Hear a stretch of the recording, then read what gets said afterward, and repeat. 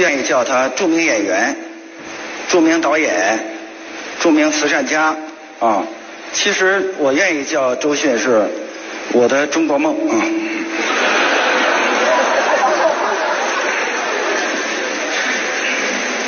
呃，今年我来呢，除了是因为知道这个 First 不是外国电影节，是我们中国人的电影节，我因为这个来哈。还有呢，就是我的几个中国梦都要在这儿出现，我就来了。呃，你看，周迅是我的中国梦，汤唯是我的中国梦，范爷是我的中国梦。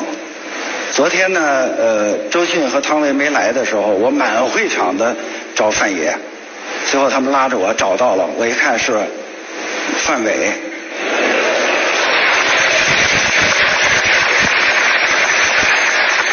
你们原谅我爆个粗口哈，妈的，你们说清楚啊！